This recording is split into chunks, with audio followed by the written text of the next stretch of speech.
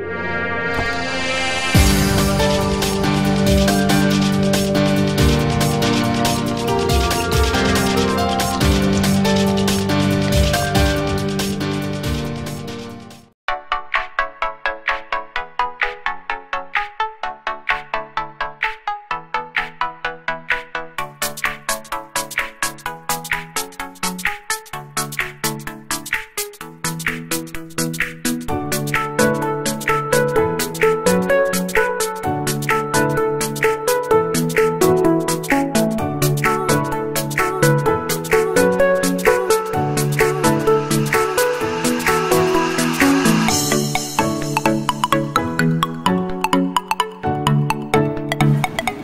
12 V6 học vào 6 giờ bình lớp ở thứ 7 tuần thứ Cảm ơn em đã học bánh một tháng, chào em rất là nhiều. Đây là nhà các bạn nhá. Rồi ok.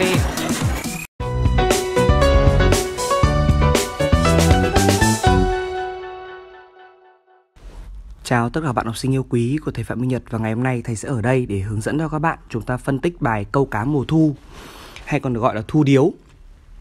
Chúng ta xử lý bài này như sau. Trong nền thơ ca dân tộc có nhiều bài thơ tuyệt hay nói về mùa thu. Riêng Nguyễn Khuyến đã có chùm ba bài thơ đó là Thu Vịnh, Thu Ẩm và Thu Điếu. Bài thơ nào cũng hay, cũng đẹp, cũng cho thấy một tình yêu quê hương giạt rào. Riêng bài Thu Điếu, nhà thơ Xuân Diệu đã khẳng định là điển hình hơn cả cho mùa thu của làng quê Việt Nam. Thu Điếu là bài thơ tả cảnh ngụ tình đặc sắc, cảnh đẹp mùa thu quê hương, tình yêu thiên nhiên, yêu mùa thu đẹp gắn liền với tình yêu quê hương tha thiết. Thu Điếu được viết bằng thể thơ thất ngôn bát cú đường luật, ngôn ngữ tinh tế, hình tượng và biểu cảm. Cảnh thu, trời thu xinh đẹp của làng quê Việt Nam như hiện lên trong dáng vẻ và màu sắc tuyệt vời dưới ngòi bút thần tình của Nguyễn Khuyến. Hai câu đầu nói về ao thu và chiếc thuyền câu. Nước ao trong veo, tỏa hơi thu lạnh lẽo, sương khói mùa thu như bao trùm cảnh vật. Nước ao thu đã trong lại còn trong thêm, khí thu lành lạnh lại trở nên lạnh lẽo. Trên mặt nước hiện lên thấp thoáng một chiếc thuyền câu rất bé nhỏ, bé tẻo teo. Cái ao và chiếc thuyền câu là hình ảnh trung tâm của bài thơ, cũng như là hình ảnh bình dị thân thuộc đáng yêu của quê nhà. Theo Xuân Diệu cho biết, vùng đồng Chiêm Trũng, Bình Lục, Hà Nam có cơ man nào là ao, là nhiều ao, cho nên ao nhỏ, ao nhỏ thì thuyền câu cũng theo đó mà bé tẻo teo. Ao thu lạnh lẽo nước trong veo, một chiếc thuyền câu bé tẻo teo. Các từ ngữ như lạnh lẽo, trong veo, bé tẻo teo gợi tả đường nét, dáng hình, màu sắc của cảnh vật, sắc nước mùa thu, âm vang, lời thơ như tiếng thu, hồn thu vọng về.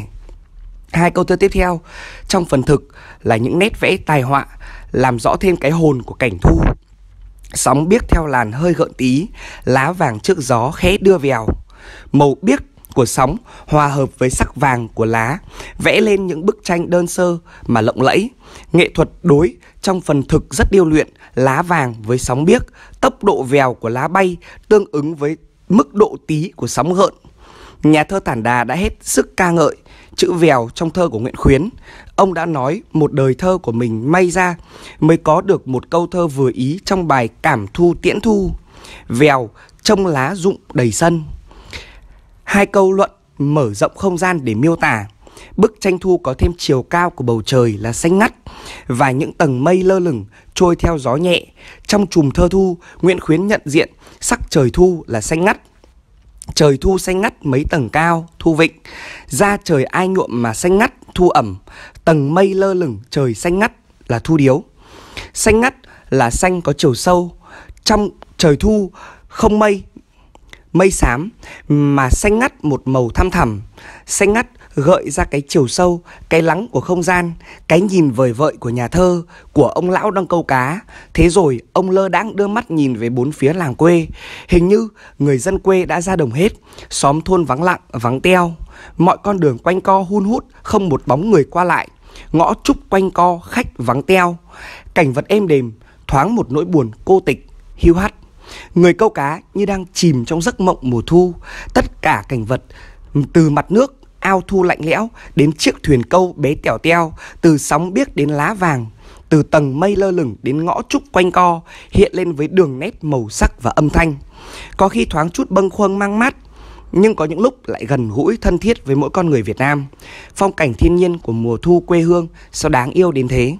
Cái ý vị của bài thơ Thu Điếu là ở hai câu kết, Tựa gối ôm cần lâu chẳng được, Cá đâu đấp động dưới chân bèo.